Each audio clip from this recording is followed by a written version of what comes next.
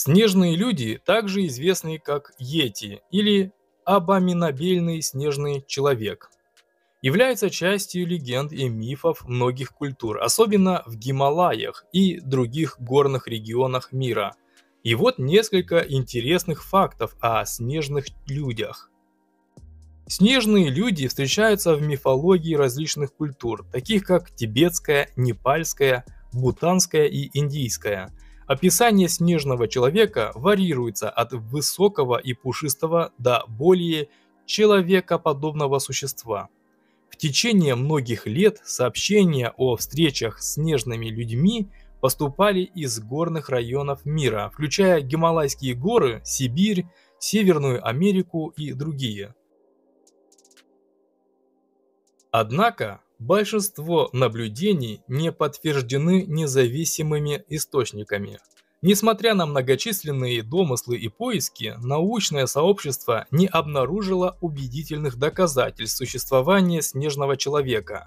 Многие исследователи считают, что рассказы о снежных людях могут быть объяснены мифологическими представлениями, ошибками восприятия или наблюдениями реальных животных.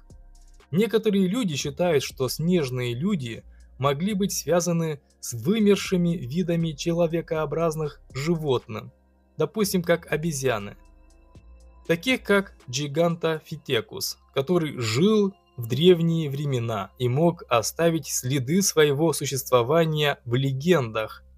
Легенда о снежном человеке стала частью туристического привлечения в некоторых регионах, таких как Непал и Тибет. Это также стало частью культурного наследия и традиций местных народов. Снежные люди продолжают привлекать внимание и вызывать интерес как в научном сообществе, как и среди любителей загадок и мифов, независимо от реальности их существования. Легенды о снежных людях продолжают вдохновлять истории и исследования – Особенно примечателен тот факт, что слухи о таинственном снежном человеке ходят не одно столетие, а в качестве доказательств его существования приводятся многочисленные фото, клочки шерсти, отпечатки следов. Но предъявить самого снежного человека пока не удалось никому. А ведь это помимо научного значения дает возможность хорошо заработать. Так, например, общество криптозоологии штат Аризона назначила щедрую премию. Тот, кто сможет доставить ученым труп снежного человека, получит 100 тысяч долларов, а за поимку живого экземпляра вознаграждение составит целый миллион долларов США. Долгое время ученые считали, что если снежный человек и существовал когда-либо, то он давно уже вымер – но в 1921 году английский альпинист Говард Берри во время экспедиции на Эверест заметил на горном склоне огромные следы, которые по своим размерам никак не могли принадлежать обычному человеку. Индейцы племен Хуна и Юрок утверждали, что в 19 веке на территории Калифорнии они часто встречали огромных человекоподобных существ, покрытых густой белой шерстью. Они называли их патонами. Но в середине 19 столетия здесь были обнаружены огромные залежи золота. Сотни тысяч охотников за удачей приехали со всего мира в Калифорнию. По утверждению индейцев, патоны, напуганные таким количеством людей, ушли в более безопасные места – есть легенда о том, что в 1890 года два огромных лохматых чудовища напали на американский шахтерский поселок, расположенный на берегу реки Четко. Они захватили запасы продовольствия, а на месте трагедии были обнаружены трупы трех шахтеров. Вес каждого из чудовищ, по воспоминаниям очевидцев, составлял не менее 300 килограмм.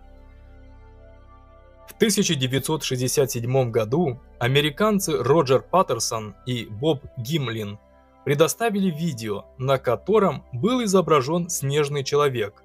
Съемки были сделаны в Калифорнийском национальном заповеднике. С тех пор прошло более 50 лет, но споры среди исследователей не утихают до сих пор.